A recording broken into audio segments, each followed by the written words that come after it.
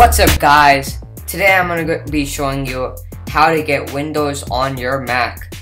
It's pretty simple and I like this a lot. I've been using this for the past maybe one and a half weeks and I really do like it.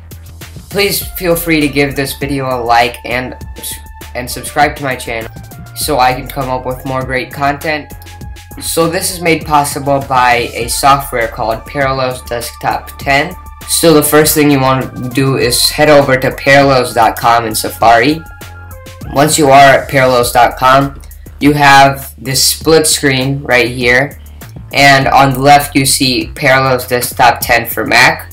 And it's right here. So it'll run on any Mac, MacBook Pro, MacBook Air, or an iMac like I have right now. So what you can do is you can try it for free clicking this blue button right here or you can buy it now for $79.99. So I will make a video maybe on how to get this for free if people do want me to.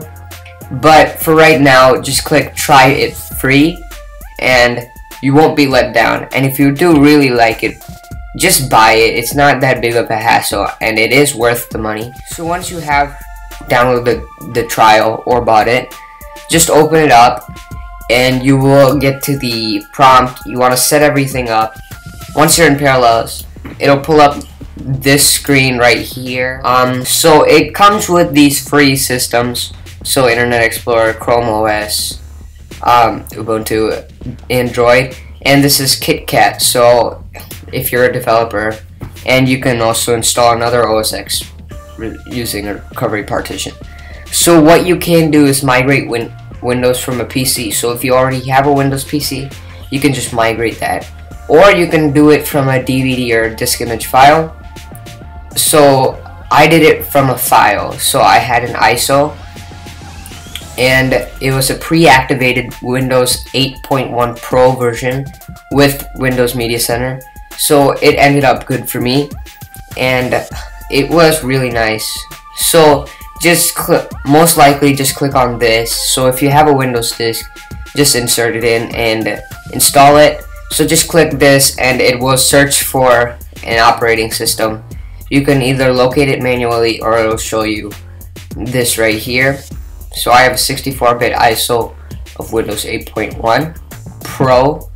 So once you have that, you'll be met at this. So all you want to do is head over to that so there you go. You have Windows on your Mac right now. Um, so it's actually very useful. It's the full Windows.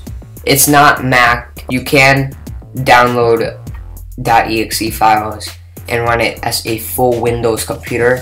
This is 64-bit Windows and you can also configure the options in Parallels.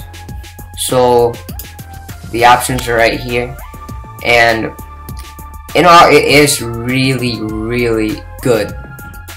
Thank you for watching. If you like this video, feel free to give it a thumbs up and subscribe. This is Awesomeabhi200 signing out.